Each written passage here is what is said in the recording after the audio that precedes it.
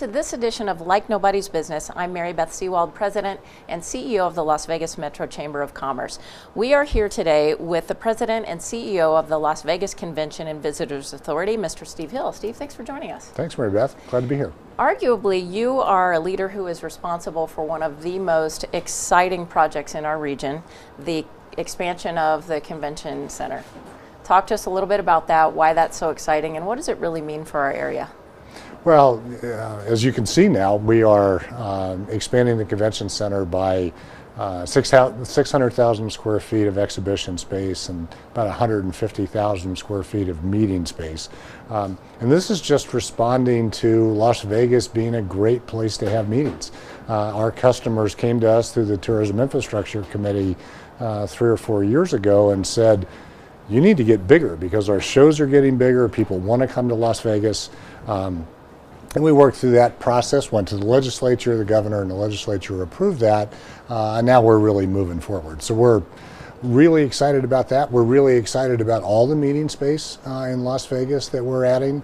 Um, we're adding 3 million square feet of meeting space in Las Vegas, which, to put that in perspective, there are only five cities in the United States that have 3 million square feet of meeting space. Um, so we'll end up with 14 and a half million uh, once we're done with the, this round of uh, construction that's going on uh, throughout the city. So this expansion really will put Las Vegas back, back on the map again in terms of the size of our convention space, meeting space, and so forth. Well, and you know we're certainly on the map primarily because we're in Las right. Vegas, um, but it does elevate the experience. Uh, one of our focuses, one of your focuses, is uh, taking care of our customers, whether that's show organizers or exhibitors or all of the attendees that visit those events. And the experience at the convention center itself, um, we think needs to be elevated to match the experience that they expect when they come to Las Vegas. And this really allows us to do that uh, as, as well as expand. And the expansion should allow us or enable us to bring even more conventions to Southern Nevada. It should. It's, it's not just to allow the shows that we have to get bigger and grow into what they have become. Um, it gives us an opportunity really to be additive um, and uh, attract um, really new shows that have had an interest but really haven't had um, a, a, slot that they can fit into at the convention center. Uh, so we're excited about that as well. Another really exciting project that we have going on at the LVCVA is the People Mover, with the Boring Company, partnership with Elon Musk's company, the Boring Company. Tell us a little about that. Well, um, I think a lot of people have probably heard about the Boring Company, but they'll get to see it here in a year and a half or so.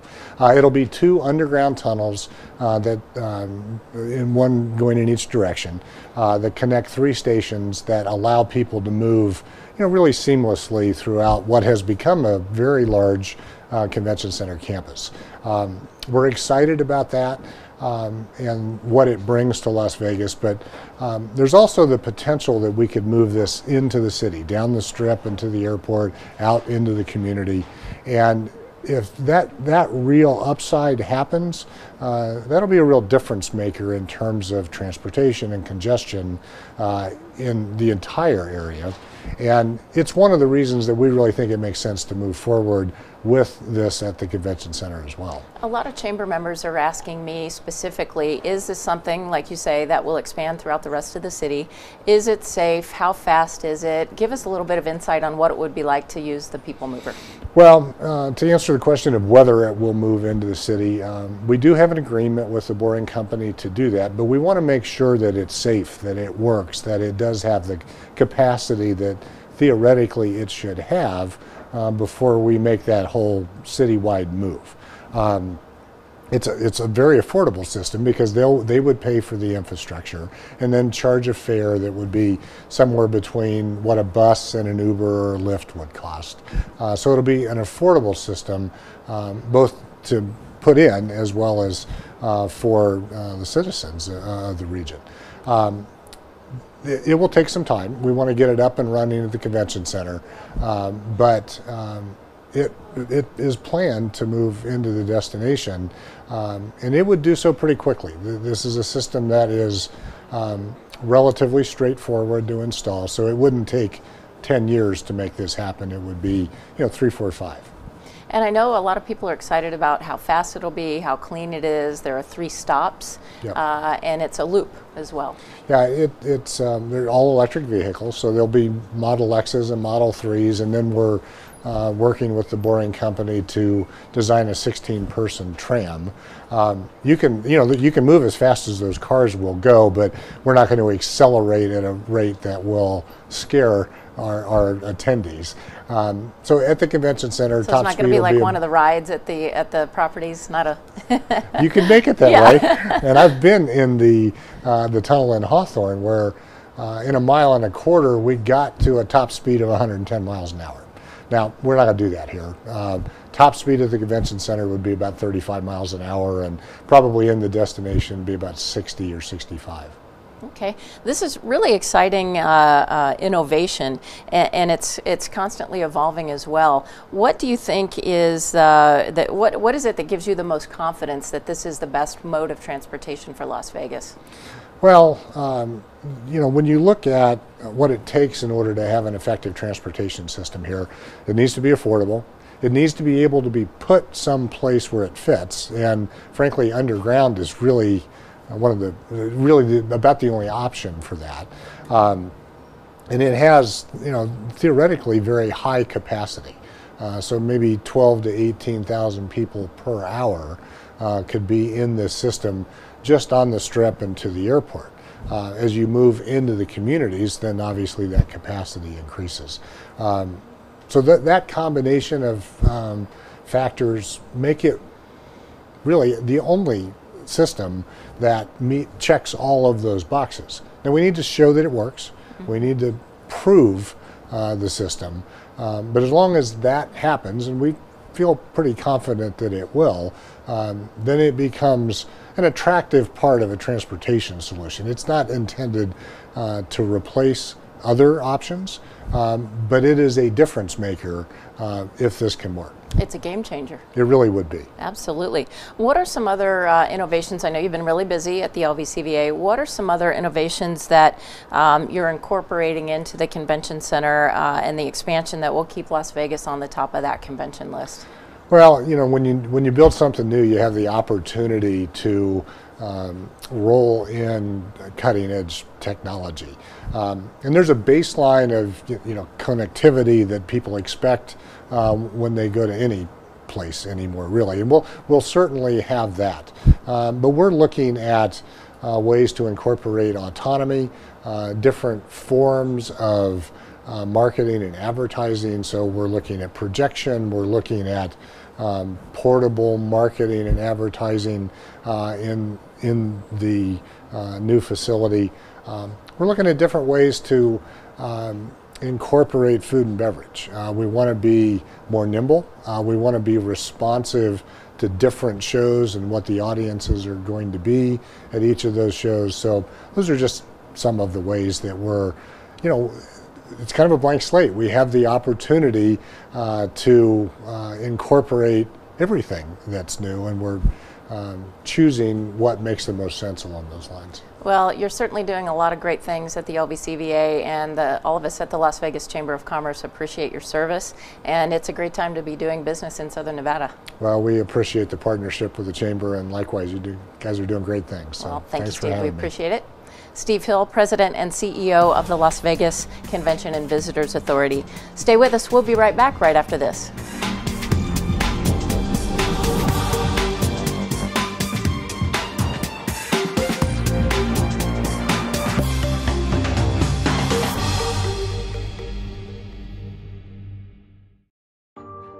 Life's journey isn't just about what happens. At Nevada State Bank, we believe it's about who it happens with. The people who are there for I Do and for Welcome Home. The people who are there for your growing business. And the ones who are there for a lifetime. For every moment of life's journey, the people of Nevada State Bank are here for you because it matters who you spend life's moments with. And it matters who you bank with. Nevada State Bank. This is the story of two businesses. Andy made a lemonade stand and hoped people would come. Jill did too, but she chose a team to get the word out about her lemonade stand. Jill learned early that advertising with the right team gets the best results. At Cox Media, we do this every day, helping your business grow to meet its potential. With our marketing expertise, Cox Media is your partner for advertising success. Don't let your business get left behind. Let's grow your business together. Contact Cox Media today. My name is Shane Jasmine Young. I'm the founder and member of Young Law Group. The Chamber has a great sense of community and fellowship, and that's what I enjoy. It's not intimidating. People want to help each other. They make introductions. They want to connect people, even if it's not necessarily going to benefit them directly. But it's all about connection and feeling that sense of community and togetherness is really what I like. Remember Old Vegas where the customer was king? The Casablanca in Mesquite is just like Vegas used to be. Play over 40 of your favorite table games. Play over 800 slot and video poker machines and get comps, free play, and cash back. Get away and play two 18 hole championship golf courses. Or pamper yourself in our full service salon and unwind in our world class spa. Now, this is my kind of getaway. Reserve your $99 golf or spa getaway today. It's just like Vegas used to be. Welcome back to this edition of Like Nobody's Business. One of the most important bills that passed the 2019 legislative this year was SB 543, which updated K through 12 the funding formula. Our next guests are State Superintendent of Education Jhone Ebert, along with economic analyst Jeremy Aguero with Applied Analysis. Thank you for joining us today. Thanks for having us. Thank you for having we us. We appreciate it. Jeremy, I consider you kind of the, the one of the architects of SB 543, along, along with Senator Woodhouse and, and Mo Denis. Can you tell us a little about how SB 543 changes the funding landscape for Clark for the Clark County School District? Well, I think it changes it overall for the state of Nevada, right? I mean, we've been operating under this thing that people have heard about called the Nevada Plan. Um, and, and it's come under a fair amount of criticism. I think some of it was justified, some of it probably wasn't justified. We have real challenges in the state of Nevada, the funding formula only being one of them. But what SB 543 does, I think, is really kind of five things, if you will. Number one, it increases transparency with regard to education. It makes sure that it's clear to everybody how much money is coming in to education and where those dollars are ultimately going. We had the ability to figure that out over time, but it was very difficult for people to understand. Right? Number two, it creates a savings account for education, where historically money had gone to schools and then some of that money would revert back to the state's general fund and could be used for some other purposes other than education. Those dollars will now be held with education.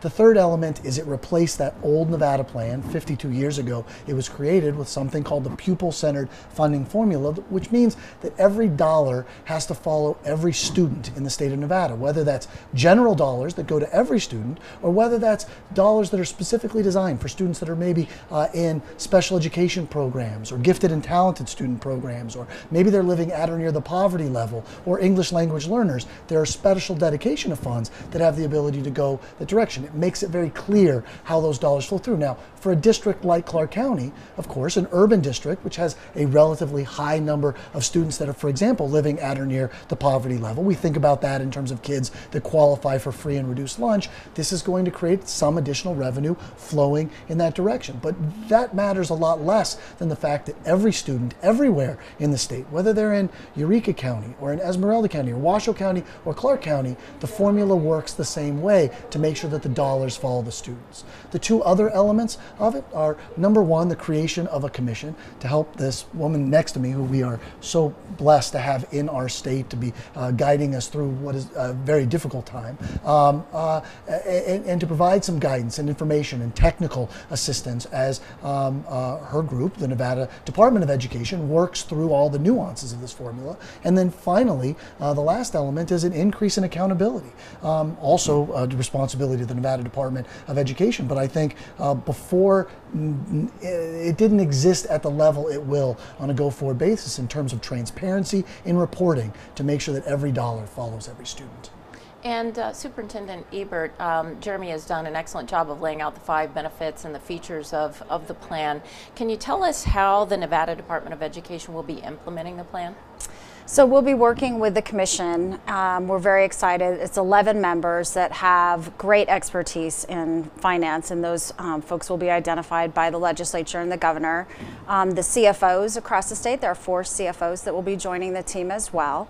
Um, one of the first things that they'll be tackling, first things, it's it's a I guess if I back up just for a moment, um, we've been talking about this for decades. And so to have this moment in time right now where we're actually moving forward and changing the formula is huge. It's huge for Clark County, it's huge for the entire state of Nevada, and um, something that we're all looking forward to.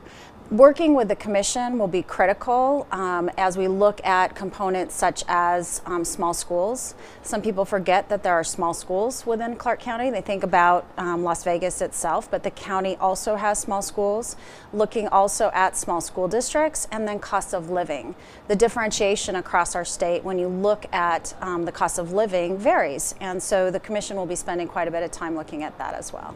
Okay, and I know one of the questions that I've heard even from our members is um, I guess we won't be switching immediately from the Nevada plan to the new plan. Will the plans run parallel for a couple of years, Jeremy? Sure, and the answer to that question is yes.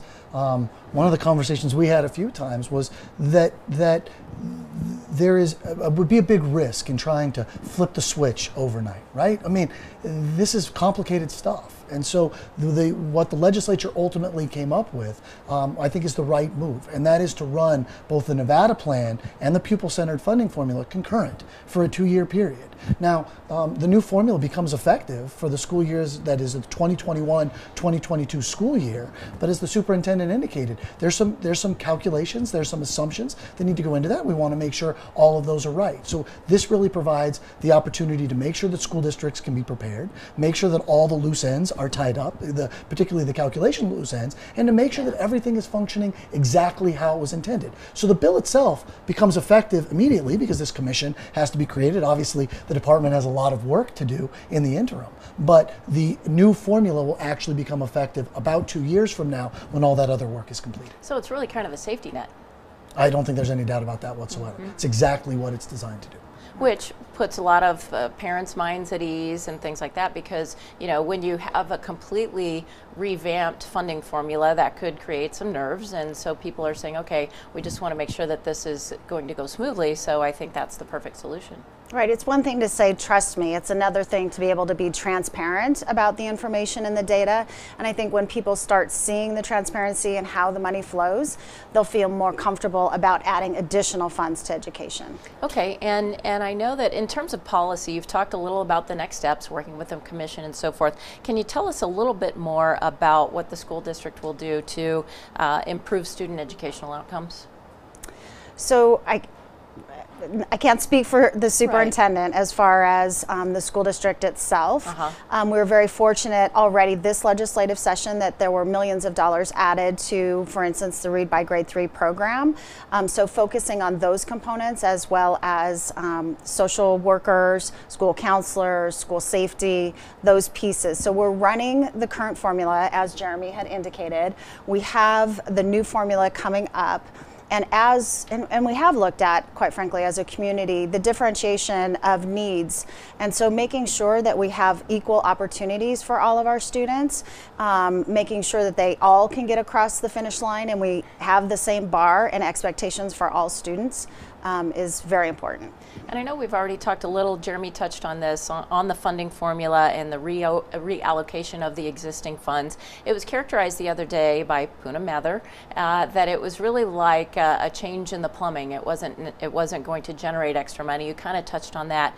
Can you kind of clarify a little bit more about how the money works and that and what kind of new funds might be included? Yeah, sure. Look, I think what's what's really important at the outset is exactly what the superintendent just said, and that is legislators put a lot of new money into K through 12 education um, this go around, and, and but the, the, the, challenge is the transparency, to be able to see where it's going and make sure it's going exactly where it's intended. That's the plumbing uh, that Poonam likes to talk about. And, and I, I think with that, um, when we think about those allocation of funds, I, I, again, I think what the superintendent said is exactly right. If we didn't fix the formula, if we don't have that level of transparency and that belief in the leadership, then it's going to be really difficult to have a conversation about putting additional money in to that formula. Now, what we did is we've created a framework uh, which will work in that direction allowing us to have a long overdue but very important conversation about are we funding our schools adequately right? I, I, think what was just mentioned in terms of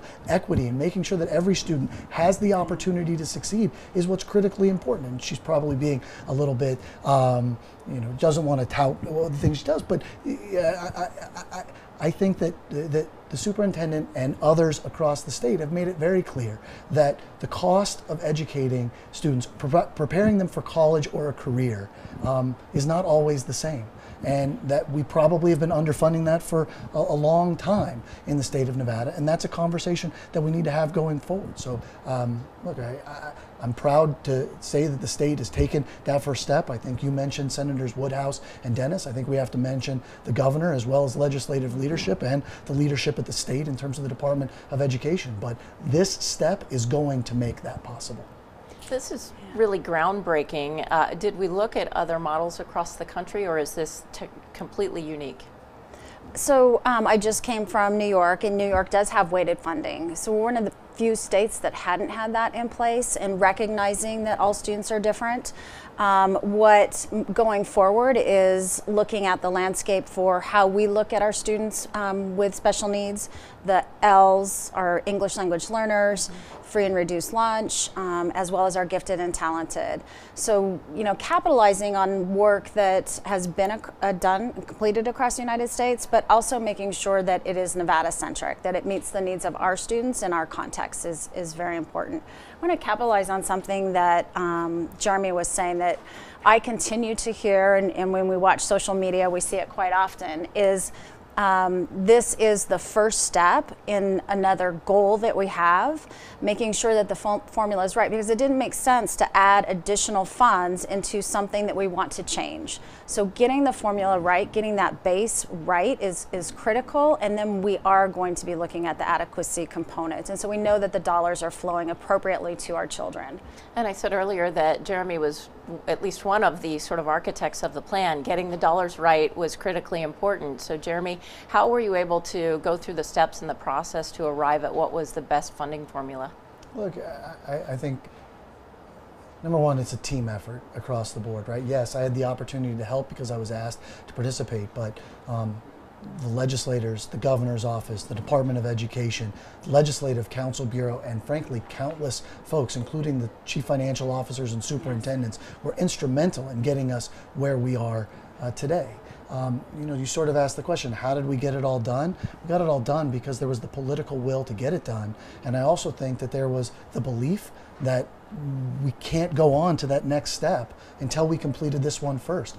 And honestly, I think it's the will of folks like uh, Senator Woodhouse, who wasn't going to end her tenure as a senator in that legislature without um, getting this done. It must feel really gratifying to be part of something that is so monumental for the state, for education, and for our kids. How do you feel today after after going through the session and going through these steps, and now here it is? I, you know, I was asked that question the other day. The, the legislative session is fast and furious, and we're all doing our work. We're focused on making sure that we um, get our work done appropriately, and we listen to all of our constituents.